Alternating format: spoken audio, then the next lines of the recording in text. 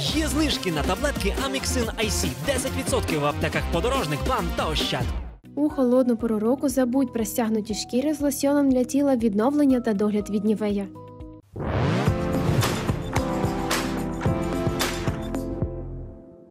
Зміни у виплатах для внутрішньо переміщених осіб. Починаючи з 1 березня, змінюється підхід до надання державної допомоги. Її призначатимуть лише найуразливішим категоріям населення. Як пояснили Міністерстві соціальної політики, тепер враховуватиметься сукупний дохід усіх членів сім'ї вимушено переселеної особи. У перерахунку на одну людину він не повинен перевищувати 9 тисяч 444 гривень або з чотирьох прожиткових мінімумів.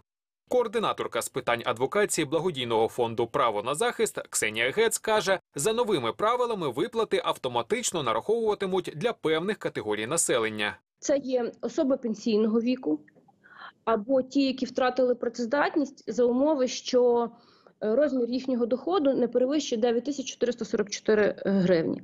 Також це є е, особи з інвалідністю першої другої групи, це є діти з інвалідністю, а також це є діти з тяжкими захворюваннями. Крім того, право на автоматичне продовження виплат мають діти-сироти, діти, які залишилися без піклування батьків, прийомні батьки та усиновлювачі. А от іншим категоріям внутрішньо переміщених осіб необхідно звернутися до органів соціального захисту із відповідною заявою. Важливо зазначити, що допомога не надається переселенцям, які купили земельну ділянку, будинок чи квартиру на суму понад 100 тисяч гривень, купили нову автівку до 5 років, мають власне житло на неокупованих територіях та територіях, де не ведуться бойові дії, купили іноземну валюту на загальну суму понад 100 тисяч гривень, мають на депозитному банківському рахунку більше ніж 100 тисяч гривень. Розмір державної допомоги переселенцям не змінюється та становить 2 тисячі гривень. Для людей з інвалідністю та дітей 3 тисячі. Загалом за два роки повномасштабної війни Україна направила на виплати внутрішньо переміщеним особам 130 мільярдів гривень, 57 мільярдів у 2022 році та 73 мільярди в 2023.